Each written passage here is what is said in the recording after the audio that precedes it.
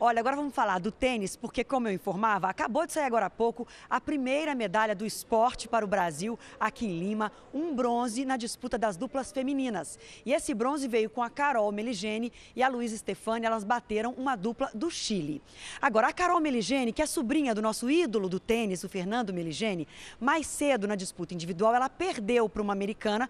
Com isso, não vai para a disputa do ouro, mas tem chance de mais um bronze que vai disputar amanhã. E no masculino, o tênis tenista João Menezes, ele sim passou para a grande final ao vencer um chileno e agora ele vai para a disputa do ouro. Mas já com a prata garantida na mão, também garantiu uma vaga para as Olimpíadas de Tóquio no ano que vem, como conta agora o repórter Bruno Piscinato.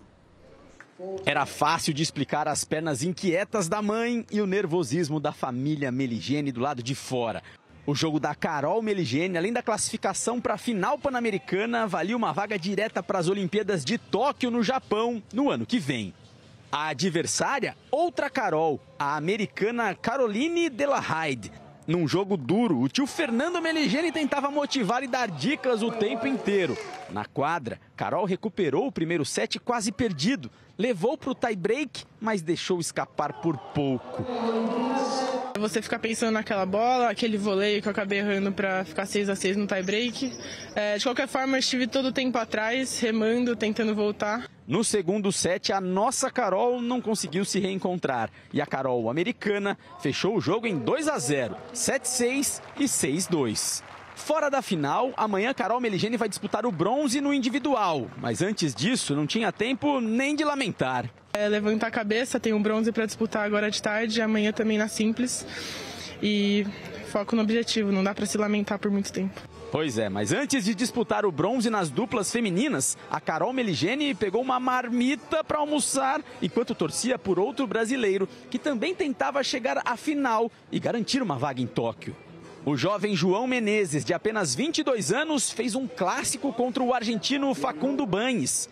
E como um bom Brasil e Argentina foi pegado e cheio de reviravoltas. É clássico, não tem jeito. O Brasil e Argentina pode ser até na peteca que é que é na sinuca que é que é, é rivalidade. O argentino venceu o primeiro set, mas João não desistiu, foi atrás. E se ganhar de argentino é bom, de virada é melhor ainda. Dois sets a um para desabar de felicidade, com a final e a vaga olímpica garantidas. O final do jogo ali tá bem nervoso, bem nervoso mesmo. Eu acho que tanto da minha parte quanto da dele.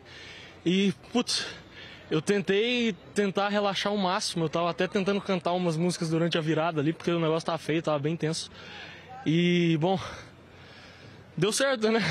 Vitória suada, vaga na final pan-americana, garantia olímpica.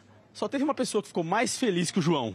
O seu Fabiano. Ah, mas eu fiquei feliz demais, não tem jeito não. Eu não me contive, não tem como conter, né? São três coisas maravilhosas. Jogar com a camisa verde e amarela, que é fantástico, ganhar uma medalha, prata ou ouro, e ir para Tóquio, gente, maravilhoso. Nossa, emoção das mais fortes que eu já senti na minha vida. Para fechar o dia no tênis, a Carol Meligeni voltou para a quadra ao lado da Luísa Stefani e também de virada venceram as chilenas e conquistaram o bronze para o Brasil.